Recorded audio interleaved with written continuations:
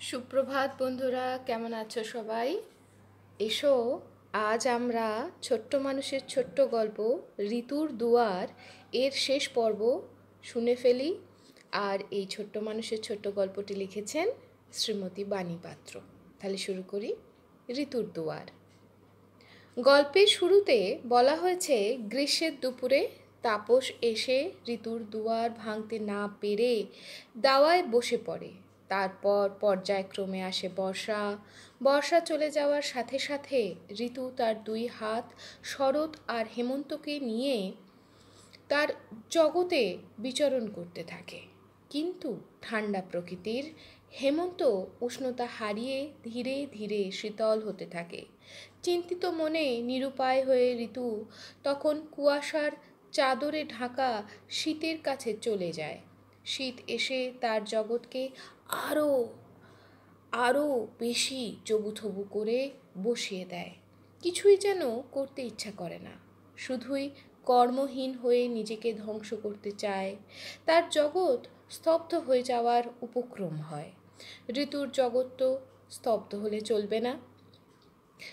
জবুথবু ঋতু তখন নূতন উদ্যমে রঙের বাহারি ফুলে ফুলে আর নতুন নতুন ফসলে সে নিজেকে ভরিয়ে তোলে।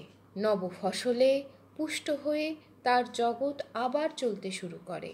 তাই চলমান জগৎকে নতুন উদ্যমে নতুন আনন্দে ভরিয়ে দেবার জন্য ঋতু মধ্যমণি বসন্তকে ডাকে।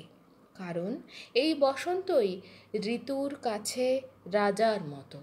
ঋতু রাজ বসন্ত এসে সব নিস্তেজকে সরিয়ে দিয়ে ঋতুর জগৎকে ভরিয়ে তোলে, ফুলে ফুলে, পত্রে পত্রে, আনন্দে আনন্দে, সুগন্ধিতে মাতোয়ারা করে দেয়, যেন উৎসব শুরু হয়ে যায়। সেই উৎসবের মরশুমে আগামী দিনে তাপসের আগমনের জন্য ঋতু তার দুয়ার খুলে রাখে। এসে ঋতুর খোলা দুয়ারে গ্রীষ্মের উজ্জ্বল আলোয় ভরিয়ে দেয়।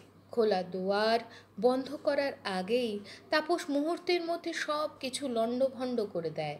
লণ্ডভণ্ড করার পর সে যখন নিজেই ক্লান্ত হয়ে নিস্তেজ হয়ে পড়ে, তখন ঋতু তাপসের দীপ্তমান উজ্জ্বল আলোর ছটায় খোলা দুয়ারে আবার নিজের জগৎকে নতুন করে ভরিয়ে তোলে।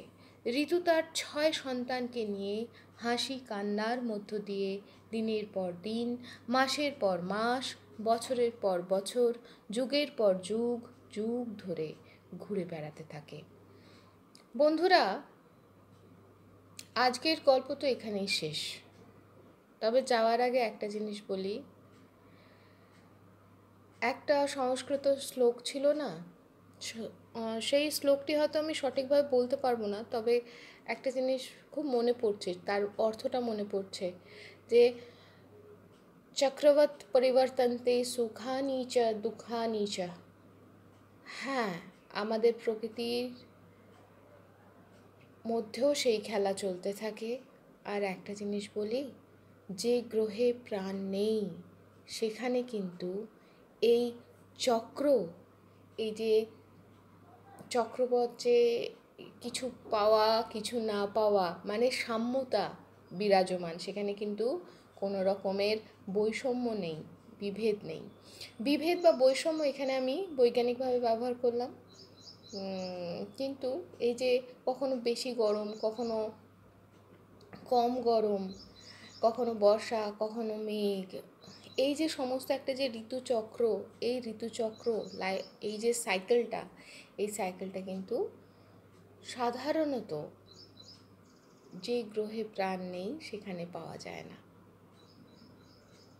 তাহলে আজ এই অবধি থাকল। আমি হয়তো বললাম একটা অ্যাজামশন দিয়ে হয়তো সেখানে সময় ভেদে কখনো অ্যাসিড রেন বেশি হয়, কখনো ঝড় বেশি হয়, সেইভাবে হয়তো ঋতুচক্র আছে। কিন্তু আমরা যে ঋতুর কথা বলি, বলছি যে ঋতু প্রাণ সৃষ্টি করে, সেই ঋতুর বৈচিত্র্য একমাত্র যে গ্রহে প্রাণ আছে, সেইখানেই দেখা যায়। তাহলে আজ এই অবধি আবার শোনা হবে, পড়া হবে অন্য আর একটা কোনো নতুন অধ্যায় নিয়ে, নতুন কোনো গল্প নিয়ে। ততক্ষণ পর্যন্ত সকলে ভালো থেকো আনন্দ থেকো আর প্রকৃতির সাথে থেকো। টাটা।